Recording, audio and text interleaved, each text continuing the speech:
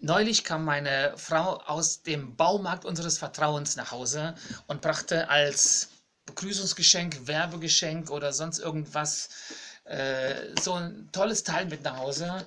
Da können wir unsere Schrauben drin sortieren oder was weiß ich, sonst irgendwelche Dübel oder Zeugs. Wir brauchen es aber nicht, denn wir haben schon so ein Ding für die Schrauben und so viele Schrauben haben wir auch gar nicht. Aber okay, unser Baumarkt hatte ein Jubiläum oder eine Verlosung oder was, jemals habe ich gedacht, was sollen wir denn mit dem Ding jetzt auch noch? Aber plötzlich hatte ich eine Idee. Ich dachte, wieso nutze ich das nicht für die Arbeit im Kindergottesdienst, in der Jungschar oder bei anderen Arbeiten, wo ich äh, ständig Geschichten für Kinder erzähle und äh, wo ich so einen Zauberkasten gebrauchen könnte. Und dann bin ich einfach in den Keller gegangen und habe mal geguckt, was ich da alles so finde. Ja, und da fand ich dann jede Menge, zum Beispiel Spielfiguren, Farbwürfel, äh, altes europäisches Geld auch noch, angemalte Goldsteine, Filz, Herzen und andere Figuren aus Filz, aus Stoffen, alte Zauberkastentricks, Würfel, Sektkorken und solche silbernen Scheiben, die kamen dann jetzt alle in den Koffer hinein, in, äh, jedes in sein eigenes Fach und dann konnte ich loserzählen. Der Stoff wird gerollt und auch noch in das Fach gesteckt und dann habe ich eigentlich alles drin.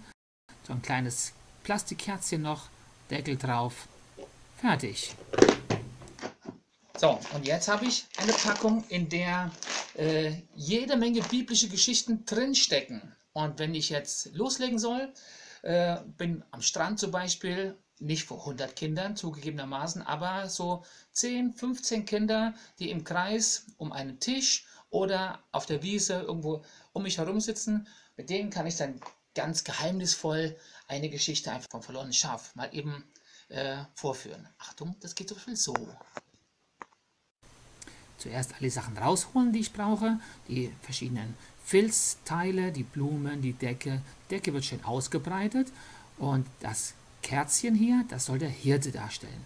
Dann kommen die Filzschäfchen dazu, ein Schafstall und ich kann auch schon dabei erzählen, ein Hirte hatte ein paar Schafe, die führte er immer auf die Weide, da ist das blaue Meer oder der See, die Blumen und abends kamen sie immer wieder in den Stall zurück. Eines Tages hat sich dann das Schäfchen verlaufen und war ganz im Dunkeln alleine. Der Hirte sucht, bis er das Schäfchen endlich gefunden hatte und zurück zu den anderen bringen konnte. Ja, das und vieles andere kann ich darstellen mit meinen Geschichten. Würde ich so ein Ding hier bei irgendeinem religionspädagogischen Institut kaufen, würde das bestimmt 200 Euro kosten, obwohl wirklich nur Sachen drin sind, die ich jetzt aus meinem Keller habe. Und wenn du in deinen Keller gehst, Moosgummi siehst und alle möglichen anderen Sachen, du hast ja gesehen, was ich da reingetan habe, dann kannst du jede Menge biblische Geschichten erzählen.